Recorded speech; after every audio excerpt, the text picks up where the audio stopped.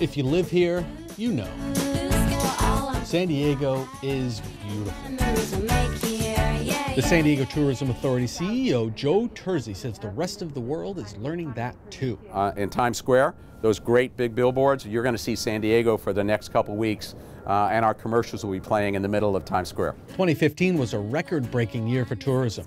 More than 34 million people visited our region and spent nearly $10 billion and generated 266 million in hotel tax revenue that helps uh, take care of fire and police and build roads. There's probably not a road in San Diego that's not under construction right now. Terzi says the further tourists travel, the longer they stay and the more they spend. They will come, uh, spend more money, stay longer than maybe a resident coming out of LA or Phoenix. Next year, the Tourism Authority anticipates breaking even more records. I have very positive uh, thoughts about 16. I think we're going to see a lot more activity in San Diego. I think the zoo work, you know, I think what's happening in the hotel community, the enhancements to some of the attractions that are here, they're all going to help San Diego continue to, to be recognized as one of the best destinations to go to. That will always make you smile.